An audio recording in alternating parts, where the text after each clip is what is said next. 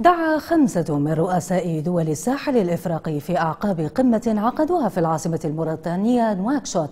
مجلس الأمن الدولي إلى تشكيل قوة دولية للتدخل العسكري في ليبيا وذلك بالاتفاق مع الاتحاد الإفريقي.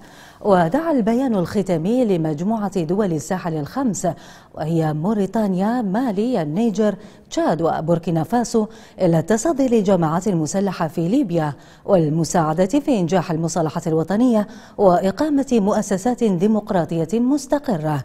ميدانيا وفيما تواصل الطائرات التابعة لقوات حفتر قصف مناطق عدة لخصومها. تتواصل المعارك عنيفة للسيطرة على مناطق إنتاج النفط بينما تمكنت قوات فجر ليبيا من السيطرة على قاعدة جوية جنوبي ليبيا.